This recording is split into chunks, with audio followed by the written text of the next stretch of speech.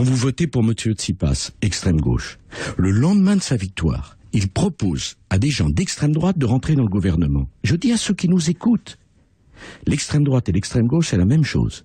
Qui s'est réjoui de la victoire du leader Tsipas en Grèce? Monsieur Mélenchon et Madame Le Pen. Est-ce que vous croyez qu'ils vont Madame- réussir? Est-ce que vous croyez que l'équipe Tsipras va Il n'y réussir? a aucune chance qu'ils réussissent. Mais regardez où se trouve la Grèce aujourd'hui, obligée de tendre la main, parce qu'un un Premier ministre qui a fait campagne en disant n'importe quoi conduit son pays au bord de la faillite. Et il faut dire à la Grèce, que j'aime pour tout un tas de raisons, et notamment familiales, vous devrez payer vos dettes, vous devrez rembourser vos dettes. Mais il faut dire à nos partenaires européens aussi que nous devons changer la construction européenne et le fonctionnement des Vous avez parlé institutions de. européennes. Vous avez Δηλώσεις που προκαλούν αίσθηση έκανε κι άλλος ένας πρώην πρόεδρος της Γαλλίας, ο Βαλερή Ζισκάρ Ντεστέν.